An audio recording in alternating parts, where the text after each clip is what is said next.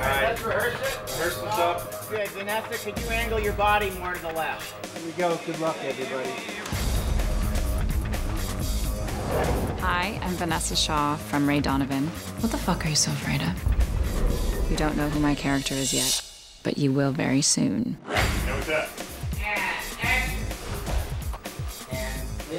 You're causing a lot of headaches for some very dangerous people. It really bothers you, doesn't it? Not being in control. Are you gonna move out of my way? That's good. That's good, guys.